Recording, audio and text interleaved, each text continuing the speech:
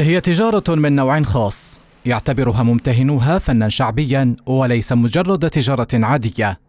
وهذا ما يصر عليه نبيل صاحب محل لبيع التحف النادرة بوسط مدينة وهران.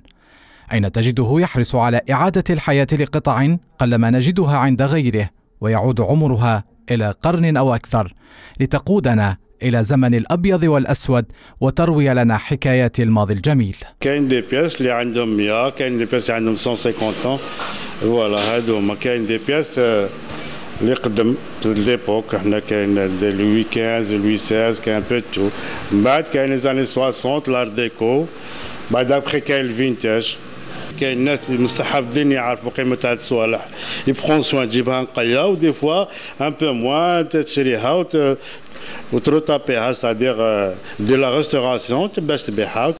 زبائن هذه التحف النادرة ليسوا من فئة معينة أو كما يعتقد البعض أنهم من فئة الأغنياء فقط بل هم محبو هذه القطع النادرة والمتميزة في نفس الآن.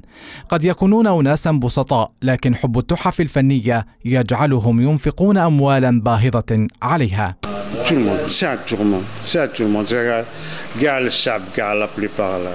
أنا بور مو لا ça c'est pas question d'argent قلت لك c'est question تاع الناس تفكرها بحاجه كانت عند دارهم بكري تاع جداه ولا ça les rappelle des souvenirs ينجم يديها في داره دروك يزوقها من يلج إلى هذا المحل يسافر عبر الزمن الغابر ليتعرف على حضارات مرت وعن تاريخ ترويه كل قطعة من القطع الموضوعة هناك. إنه حقا أقرب إلى كبسولة الزمن.